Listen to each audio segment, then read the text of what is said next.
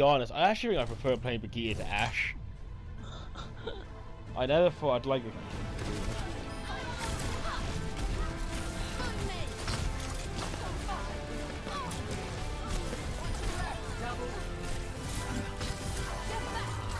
Double